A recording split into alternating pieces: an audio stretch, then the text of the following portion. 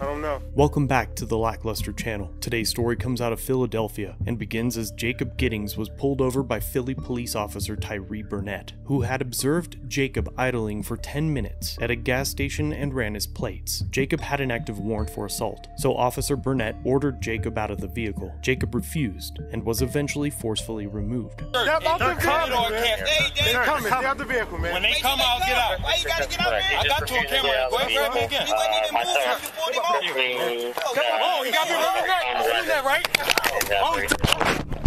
During the struggle, Jacob dropped his phone. The video continues as Officer Burnett retrieves it.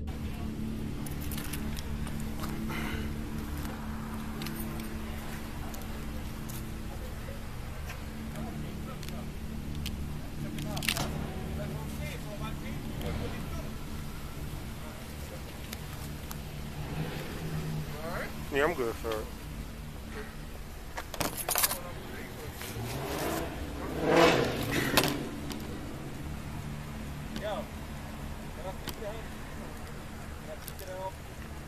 Uh, I think he's a little bit busy right now, sir.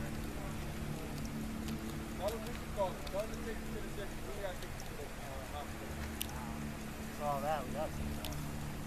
Everything that just transpired.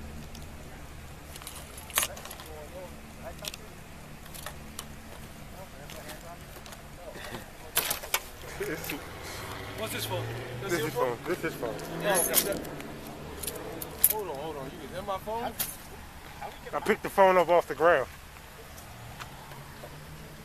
Is my video still in there? I don't know. You don't know? I do not know.